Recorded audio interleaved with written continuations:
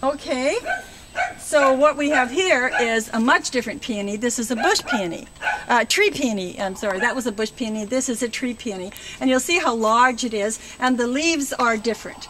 They're very elegant, graceful, and they're pointed, whereas the others were rounded. And this one has four buds on it. This is an older one, and um, very beautiful. They, that will live for a hundred years.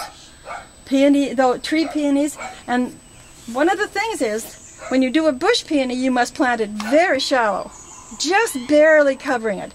A tree peony you plant deep, as you would any other bush.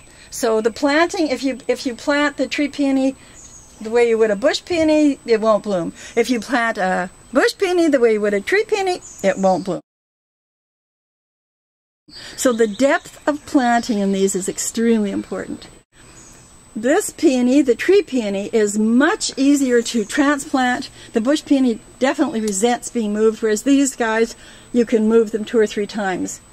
The other thing about them is they can tolerate a good degree of shade, whereas the bush peony, very persnickety and doesn't like shade, wants sun.